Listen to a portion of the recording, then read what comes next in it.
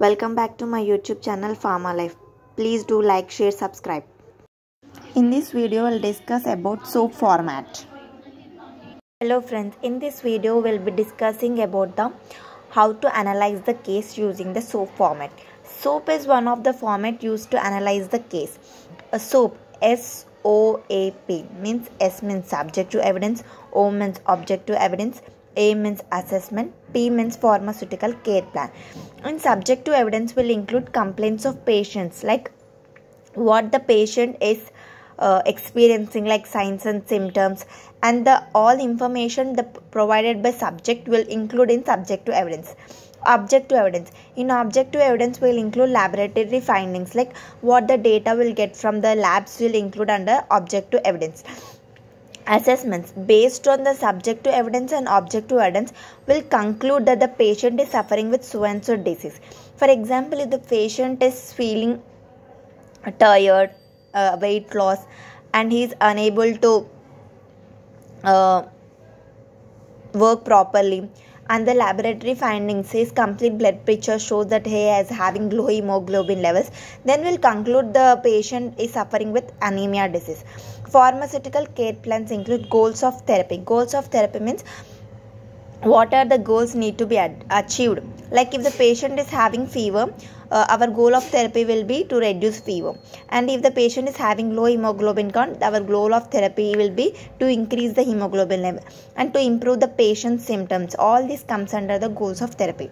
In goals achieved what we are um, what we are the treatment we are giving is it achieved or not will include under goals achieved. General treatment means what is a general treatment? Normally given to that uh, deceased patient comes under general treatment. Patient specific treatment means the treatment which is given in the hospital particular to that patient will include in the patient specific treatment. I hope you are clear with this. SOAP format subjective evidence objective evidence assessment pharmaceutical care plan general treatment specific treatment. And coming to problems identified. Problems identified general will include like drug to drug interactions.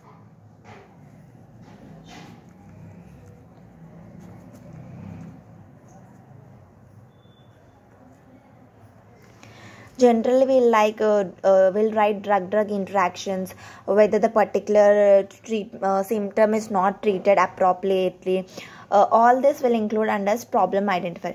If the patient uh, is having high glucose levels and the medication did not include the anti-diabetic drug then we'll write it under the problem identifier. And if the patient particular symptom is not improved then that also will include under problem identifier. Monitoring parameters include like which parameters to be included to monitor the patient treatment like if the patient is suffering with anemia we uh, the monitoring parameter will be to check hemoglobin count if the patient is suffering with the jaundice the monetary parameter probably would be to check liver function test. Uh, next, uh, these uh, all include under the monitoring parameters. Finally, patient counseling. What we have to say or counsel the patient means about disease we have to say.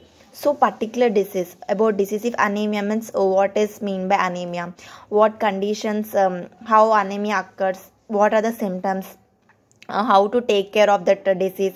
How to prevent from getting that disease? All this comes under the about disease about medications like oh which medications are given for uh, to treat which condition um, how the medications should be taken uh, how uh, if uh, if we skip the medication what problems arises uh, if symptoms uh, resolve also we have to continue the medication till the course completed. All these things we have to inform the patient in about medication. Discharge medication should be properly explained like proper uh, time of administration route of administration um, uh, how long the therapy should be continued all this comes under the discharge medication. Lifestyle modification what are the lifestyle changes the person should take during a particular disease condition comes under lifestyle modification. Generally lifestyle modification includes like uh, eat a healthy diet. If this diabetic patient means uh, eat the diet which is rich uh, rich in fiber and low in sugar. If the patient is hypertensive, means the general diet modification could be uh, low salt reduction, exercise regularly, uh, walk walk at least for 30 minutes, have adequate sleep, uh, avoid stress conditions, avoid smoking, avoid drinking alcohol. All these comes under lifestyle modifications. Oh, the, in this way, we have to analyze a uh, any case. Any case we can analyze in this format. Oh, this is all about the SOAP format. I hope I have briefed the information regarding the case study. That's all about SOAP format. I hope you all guys understood.